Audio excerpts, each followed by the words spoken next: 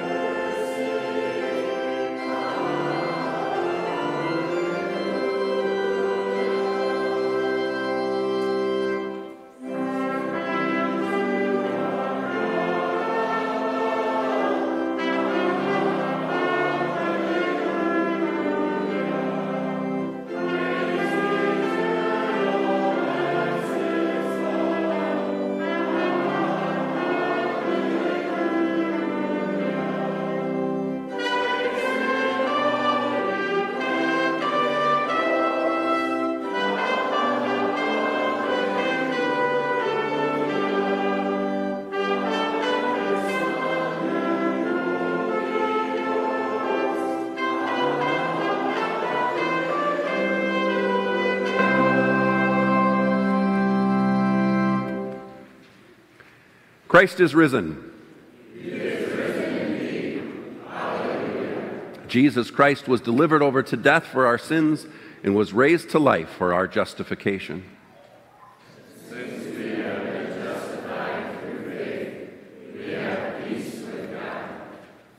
Therefore, there is now no condemnation for those who are in Christ Jesus.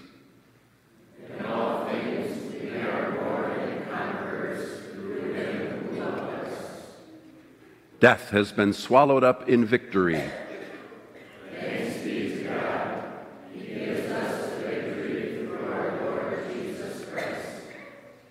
Praise be to the God and Father of our Lord Jesus Christ. In his great mercy, he's given us new birth into a living hope through the resurrection of Jesus Christ from the dead and into an inheritance that can never perish, spoil, or fade.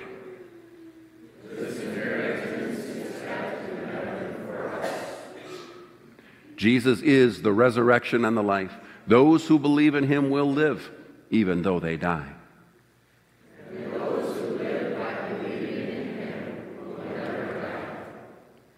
I know that my Redeemer lives, and that in the end he will stand on the earth. I myself will see him with my own eyes. I Since you have been raised with Christ, set your hearts on things above, where Christ is seated at the right hand of God.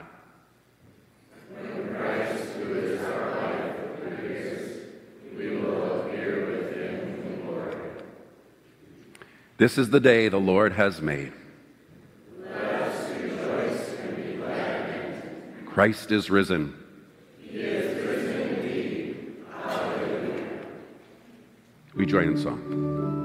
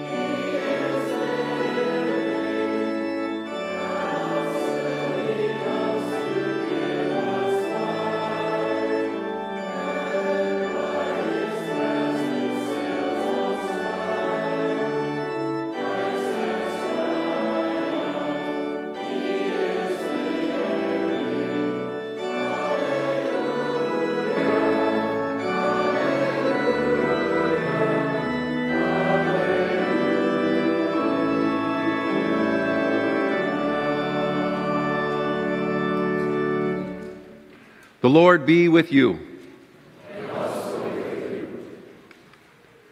We pray. Almighty God, by the glorious resurrection of your Son, Jesus Christ, you conquered death and opened the gate to eternal life. Grant that we, who have been raised with him through baptism, may walk in newness of life and ever rejoice in the hope of sharing his glory. Through your Son, Jesus Christ our Lord, to whom with you and the Holy Spirit be dominion and praise now and forever. Amen. You may be seated. Our time in the Word begins in the Old Testament. We look to Job chapter 19, verses 23 through 27, a beautiful confession of Job's uh, faith in the resurrection. It's an expression of our joy and our faith and confidence in the resurrection this day as well. Oh, that my words were recorded that they were written on a scroll, that they were inscribed with an iron tool on lead or engraved in rock forever. I know that my Redeemer lives, and that in the end he will stand on the earth. And after my skin has been destroyed, yet in my flesh I will see God. I myself will see him with my own eyes, I and not another. How my heart yearns within me. The word of the Lord. We join in our hymn response.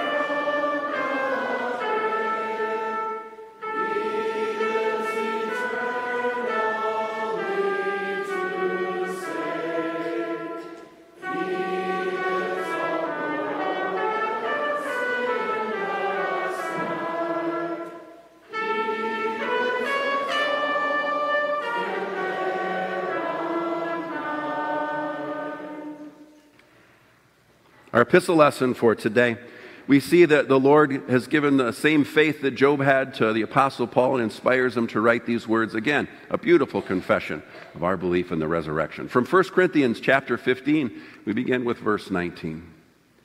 If only for this life we have hope in Christ, we are of all people most to be pitied. But Christ has indeed been raised from the dead, the firstfruits of those who've fallen asleep.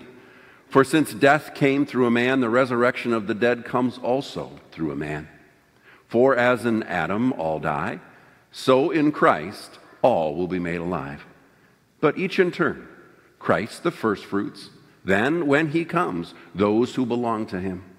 Then the end will come when he hands over the kingdom to God the Father after he has destroyed all dominion, authority, and power.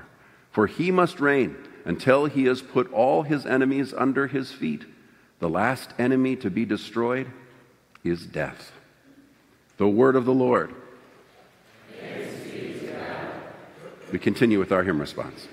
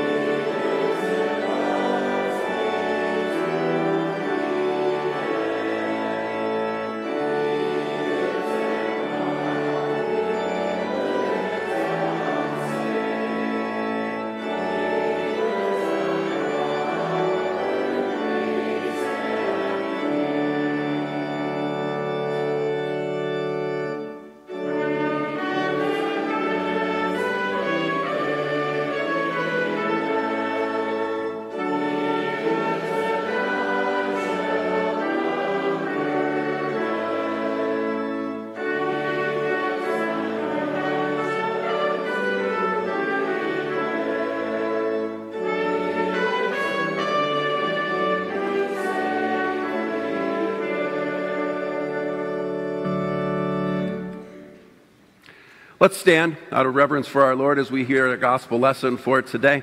We give our attention to Mark chapter 16, the first eight verses. When the Sabbath was over, Mary Magdalene, Mary the mother of James, and Salome bought spices so that they might go to anoint Jesus' body. Very early on the first day of the week, just after sunrise, they were on their way to the tomb, and they asked each other, who will roll the stone away from the entrance of the tomb? But when they looked up, they saw that the stone, which was very large, had been rolled away. As they entered the tomb, they saw a young man dressed in a white robe sitting on the right side, and they were alarmed. Don't be alarmed, he said. You are looking for Jesus the Nazarene who was crucified. He has risen. He is not here. See the place where they laid him. But go, tell his disciples and Peter, he is going ahead of you into Galilee. There you will see him, just as he told you. Trembling and bewildered, the women went out and fled from the tomb. They said nothing to anyone because they were afraid. The Gospel of the Lord. Congregation may be seated as we invite the praise choir to come forward and sing their anthem.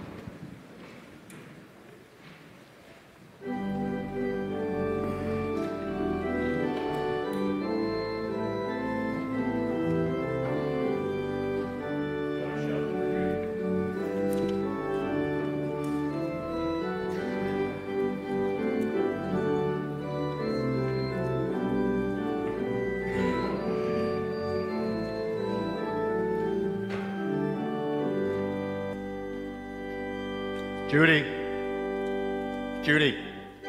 Judy.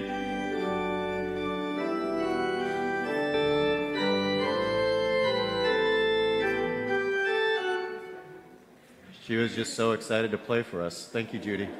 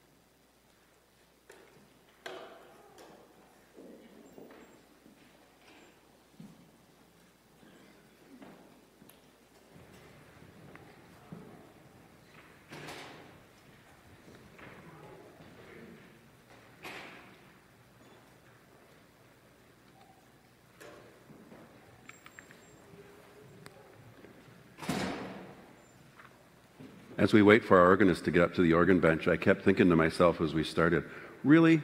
You got to let Dan stand right next to Zach? Thank you for your Thank you for your beautiful song. It looks like we're ready. Let's join in singing Christ Jesus lay in death strong bands.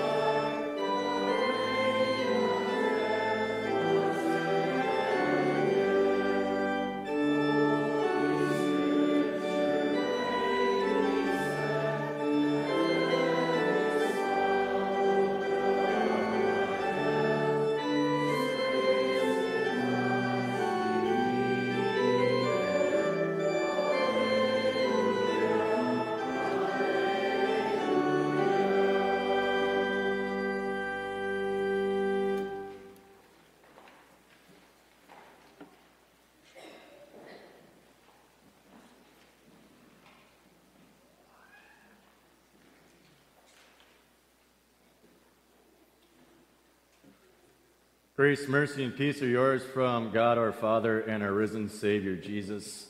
Amen. Dear brothers and sisters in Christ, they were sure they knew what they were going to find on that Sunday morning. Many of them were there on Mount Calvary and they saw him on that cross, and many of them had seen him bow his head and give up his spirit. At least a few of them stuck around and watched as Joseph of Arimathea and Nicodemus took that lifeless body down from the cross, and at least two of them were there at the tomb as they saw that body be quickly prepared and then put into the tomb, and they watched as that stone was rolled away in front of the entrance. So that Sunday morning, when they got up exceedingly early, I'm sure they were very sure of what they were going to find. And as Mary Magdalene, Mary, the mother of James, and Salome make that trek to the tomb, the sun begins to peek over the horizon, and the ladies begin to realize they found themselves in a little bit of a predicament. Who is going to roll away the stone from the tomb? It's a legitimate question. Now, these ladies, they know their own limitations. They know that they're going to need some help. It's a very large stone, so how are we going to get in? But why are they asking the question?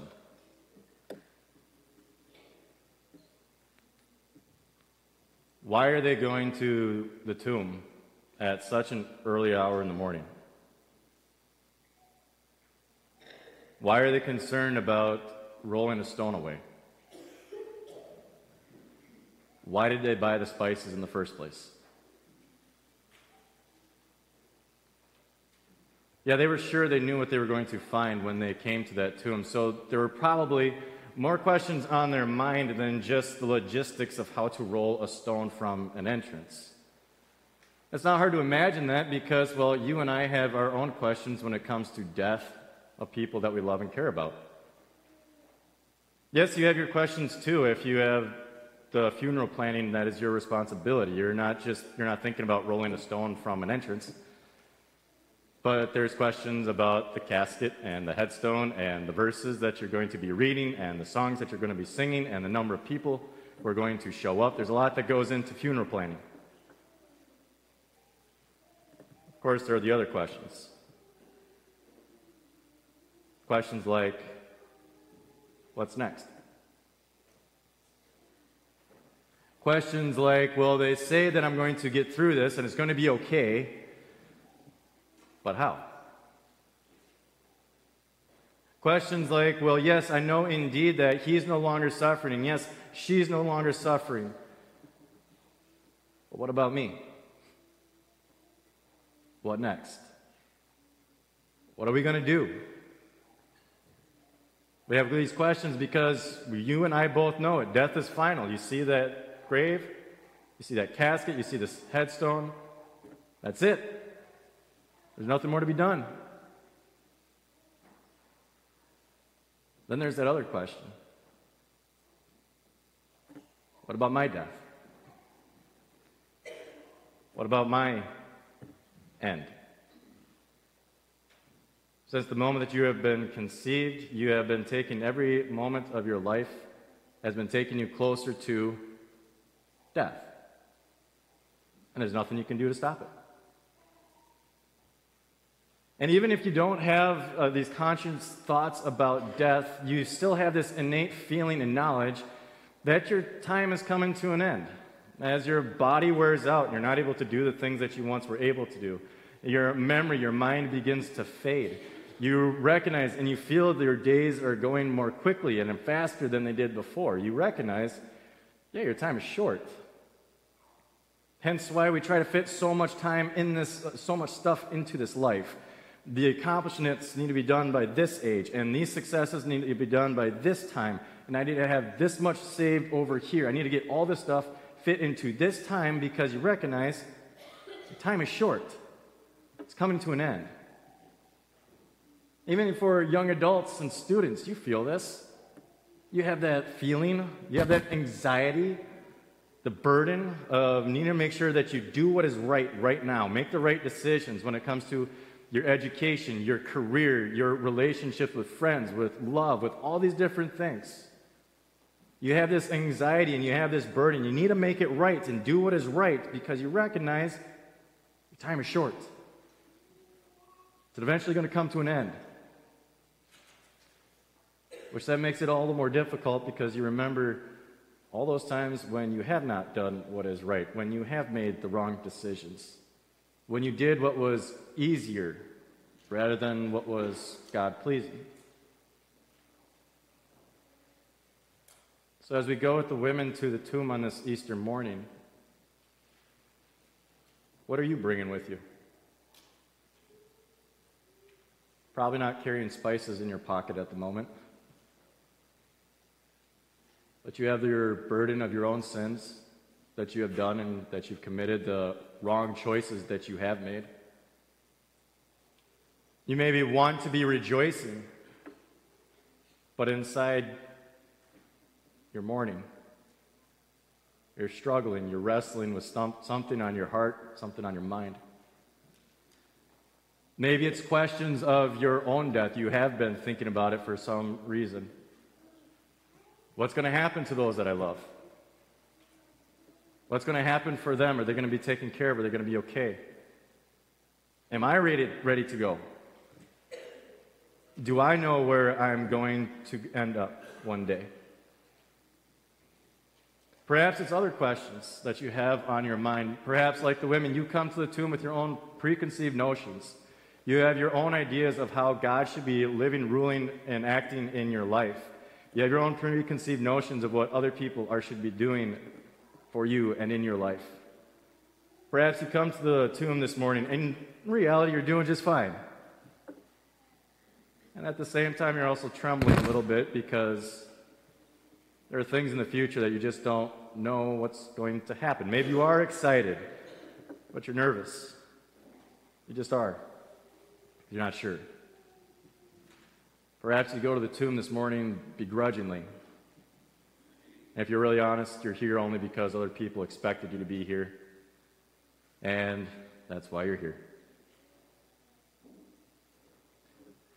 Whatever it is that you bring to the tomb this morning, Whatever it is that you're carrying, whatever questions that are on your mind, whatever fears there are, it's good to have you here. And with the women, as we go to that tomb, no, the, the gospel writers, they don't tell us what is all on their mind. But from what they're doing, we have a really good idea of what they think they're going to find. That's why they bought the spices. That's why they're asking questions about rolling a stone away. They saw their Lord die. They know what that means when someone dies. There's nothing more that they can do. Even this anointing, this final act of love for their Savior's body, it's for a lifeless corpse. Or as one pastor put it, it's a bag of bones. And then they look up. And someone and something has taken that stone and hurled it away from the entrance. And curiosity it leads them to then look into this dark hole of death. And what do they see? A young man sitting there with long flowing white robes. Does he have a smile on his face? Is he smirking a little bit? Can you see his excitement out of the multitude of angels he gets to be the one who shares this good news. Of course, the women are going to be alarmed. That's how sinful human beings react when they see perfect heavenly beings like angels. Of course, those women are going to be alarmed. They expected to find a dead body. Plain and simple. That is what they were sure they were going to find. Death is the end, it's final. That's what is supposed to be there. But the angel says, Do not be alarmed. You are looking for Jesus the Nazarene who was crucified. He has risen, he is not here. See the place where they laid him. But go, tell his disciples and Peter, he is going ahead of you into Galilee. There you will see him, just as he told you. Yes, ladies, you are right. You saw what you did. Yes, ladies, Jesus was crucified. Yes, Jesus died. But Christ is risen. He is risen indeed, just as he told you. Yes, if Jesus' body was still laying in that tomb, then yes, those women have every right and should be extremely alarmed. As Paul wrote it in our second lesson, if only for this life we have hope in Christ, we are of all people most to be pitied. If Christ's body is still laying there in that tomb, then you're still in your sins. And for all of the bravado that we have, all that confidence, all that strength that we want to, convince other people that we have, our weak human hearts cannot help but tremble when we think about our sins. You have done serious damage to people because of what you have thought, said, and done. I have done serious damage to people because of my sin. And the fact is that you can only bury those skeletons in the closet so deep. And you can only lie to yourself for so long. But Christ is risen. He is not here, just as he said. That means you can stop burying the, the sins in the closet, the skeletons in the closet. That means you can stop lying to yourself. Your sin has already been taken care of. It's not, no longer held against you. Your sin died with Jesus on the cross, and it was buried with him in the tomb, and that's where it remained. But Jesus is not there. Christ is risen. Yes, indeed, Jesus was crucified on the cross. He had to be. He wasn't forced to do it by any means. No, he wanted to go to the cross. No, he couldn't come down that cross to prove that he was a son of God. He couldn't because he loves you. No, he couldn't stop the torment that he was enduring on that cross, the suffering that he faced. He couldn't because he came to save you. And so God forsakes God, and the Father turns his back on his own Son because Jesus became sin for us. And he dies because that is the result of sin. But Christ is risen. He is not here, he lives. And because Jesus lives, that means that your sin is no longer yours. It means that death itself has died. Yes, in Adam we all die. We all have our end dates in this world unless Jesus returns first. But in Christ, we have been made alive. And so we say right along with Job, as we sang earlier, I know that my Redeemer lives and that in the end he will stand on the earth. Yet in my flesh I will see God. Jesus' resurrection proves that Job was right. And it's proof for you and me too. Because Jesus lives, because Jesus was raised from the dead, I know that one day I will too. I know that I will see my Redeemer, I will see my Savior Jesus with my own two eyeballs, and in my own flesh, I will see God. And I will be with the Lord forever in perfect peace, happiness, and joy, where the last enemy, death, has already been defeated and it will haunt us no more because Christ is risen, just as he said. And that life that Jesus promises to us in the end, well, that's life that he already gives you today. We don't have to wait for all of the gifts till then. You already have that right now. You have a peace that surpasses understanding. Because the Father gave you Jesus, he's going to give you every good thing. Because Jesus died and rose for you, we know that he's working all these things, everything, even the bad and the terrible, along with the good, all of it, He's working together for your good to bring you ultimately to Him. Because Jesus lives, we know that our God is always faithful and will keep all of His promises. Your sins really are forgiven. You really do have peace with God. He has given you new life already today. For many of you, it started right there in the baptismal font. Death cannot harm you because you already died once there in the waters of baptism. You died with Jesus and you were raised a new creation. And he gave you, gave you a new life with him. Where sin no longer controls you, sin does not define you, even Satan himself has no power over you, and the sting of death has been removed because Jesus lives. This is the good news that you and I have and that we believe through faith. And this is the good news that the women and we are sent to share. Notice how the angel says it. It says, Go and tell the disciples and Peter. If there were a group of guys who really felt like they screwed up, it probably were the 12. And Peter. Peter, who denied knowing his Lord three different times. The shame, the guilt that had to be weighing on his mind, eating him up from the inside. Go tell him the good news. Jesus doesn't hold grudges. He died to let grudges go, and he lives. This good news is for you, Peter. Your sins are forgiven. I want you to be with me. Go tell the good news to the disciples and Peter and that person who has heard your invitations before and rejected them. They need the good news again. And to that person who has wronged you in some shape or form, they need the good news too. And that family member and that friend, and you who is struggling with sin and temptation, and you who is uncertain about the future and has all those worries and concerns that are in your life, and you who is doing completely fine, but, you know, and you, especially you. Jesus lives for you.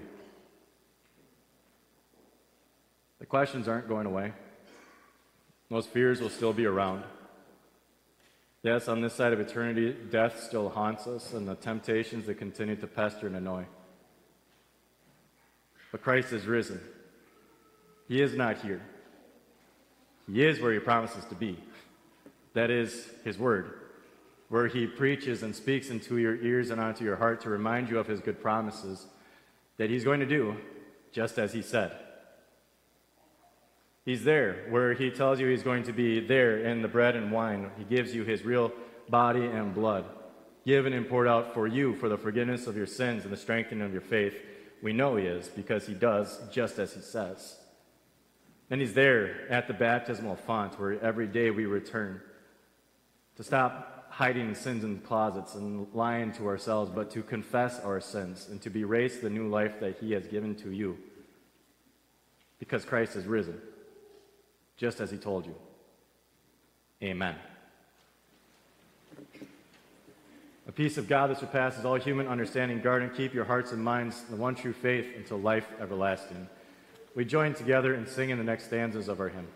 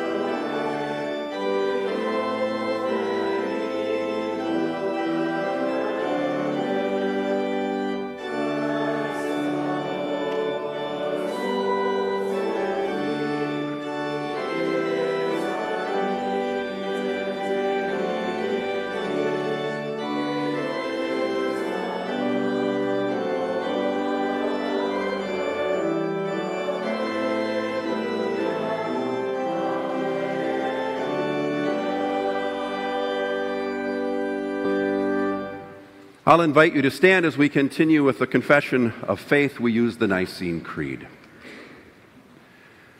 We believe in one God, the Father, the Almighty, maker of heaven and earth, of all that is seen and unseen.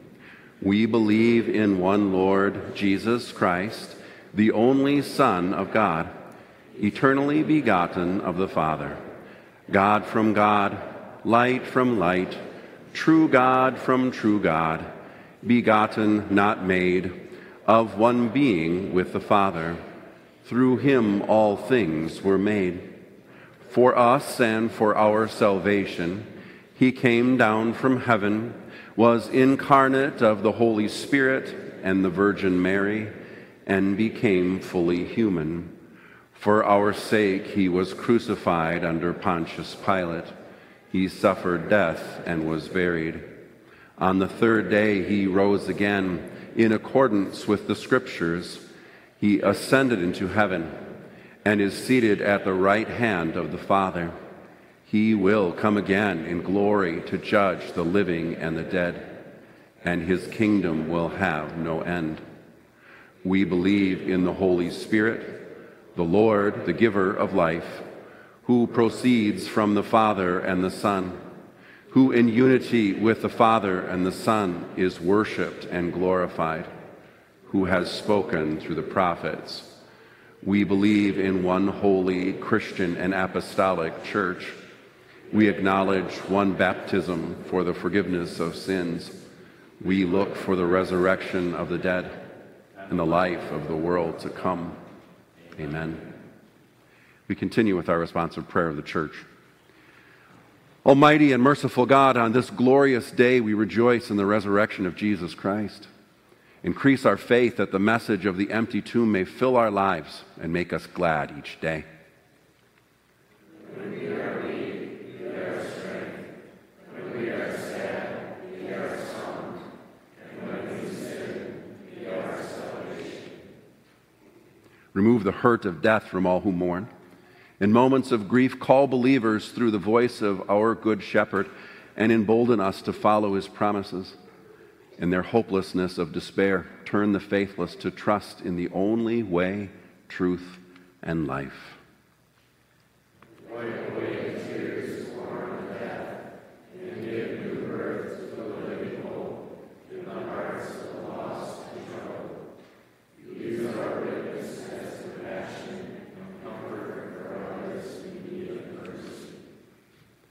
King of kings and Lord of lords. Destroy all dominion, authority, and power that stands against you, whether seen or unseen. Whatever evil exerts itself against your saving will, false teaching or lukewarm faith, Satan's lies or worldly pleasures, empty worship or futile religion.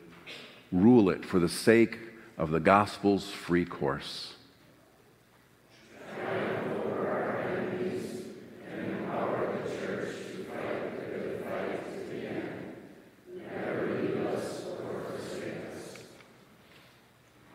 Walk among our churches, O living one, as the faithful witness and firstborn from the dead, as your angel sent women with news of the risen Christ. Call women in our church to announce he is risen.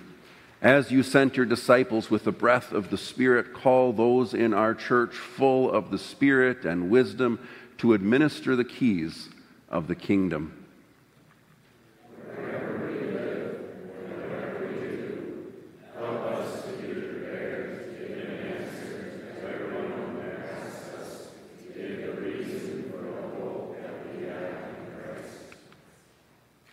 Heavenly Father, keep the baptized united with your Son in his resurrection. Put to death the fleshly urges of those caught in addictions. Clothe in your righteousness anyone ashamed of good intentions which have fallen short. And assure those searching for purpose that their eternal identity as your dear child is sealed. Thank you.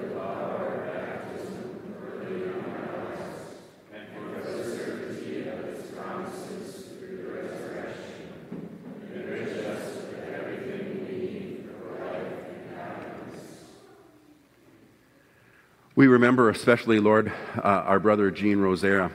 Um, he's been searching for answers, and uh, in your good time, Lord, you revealed some of those answers. And so, as he undergoes colon surgery in the near future, Lord, we'd ask that you'd bless the surgeons and caregivers and um, the treatments that will follow.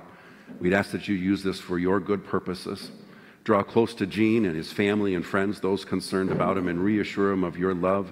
If you have the power, Lord, over the grave, you most certainly have the power over the things that we deal with in our health issues. And so reassure him and those who care for him. Keep them strong in their faith and remind them that you use all things for your good purposes. And now, Lord, we ask that you hear us as we pray in silence.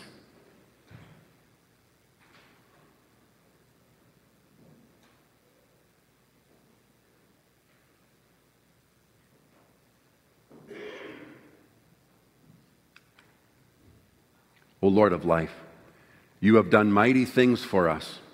We pray through him who is the beginning and the end, Jesus Christ our Lord.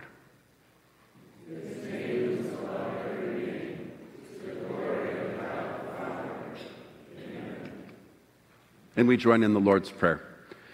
Our Father, who art in heaven, hallowed be thy name. Thy kingdom come, thy will be done on earth as it is in heaven. Give us this day our daily bread, and forgive us our trespasses, as we forgive those who trespass against us. And lead us not into temptation, but deliver us from evil. For thine is the kingdom, and the power, and the glory, forever and ever. Amen. Our worship continues with the celebration of the sacrament. We give thanks, O Lord, Holy Father, Almighty and everlasting God, through Jesus Christ our Lord, who by his willing sacrifice on the cross took away the sins of the world, and by his glorious resurrection restored everlasting life. As we remember Jesus' death and rising from the grave, we thank you that you have gathered us together to receive your Son's body and blood. Send us your Spirit, unite us as one, and strengthen our faith that we may praise you in your Son, Jesus Christ, forever. Through him, we glorify and honor you, O God our Father, and with the Holy Spirit, one God, now and forever. Amen. Our Lord Jesus Christ, on the night he was betrayed, took bread, and when he had given thanks, he broke it and gave it to his disciples, saying, Take and eat. This is my body, which is given for you. Do this in remembrance of me. And then he took the cup, he gave thanks, and gave it to them, saying, Drink from it, all of you. This is my blood of the new covenant, which is poured out for you for the forgiveness of sins. Do this whenever you drink it in remembrance of me. The peace of the Lord be with you always. Amen. We join in song.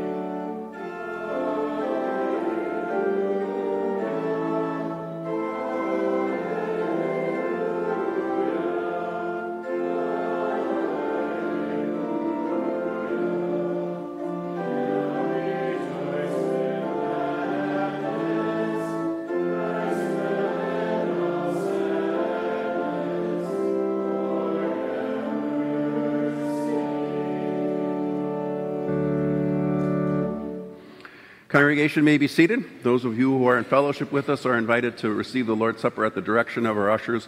Note that we'll have two distribution hymns this morning as needed hymn 675 and 445. Those can be found in the blue hymnals.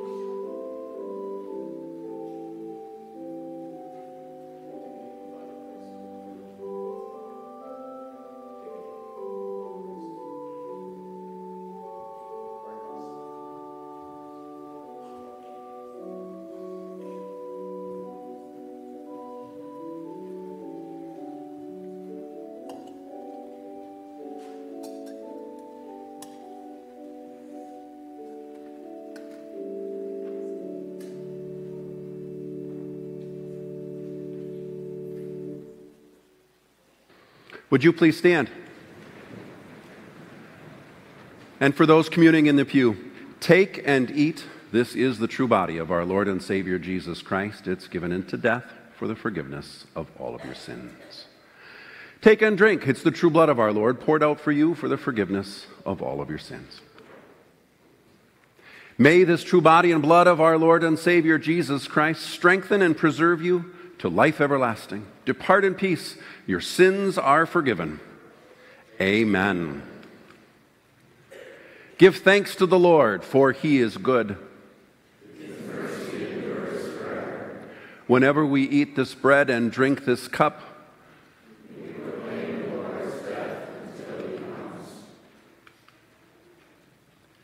we continue in prayer.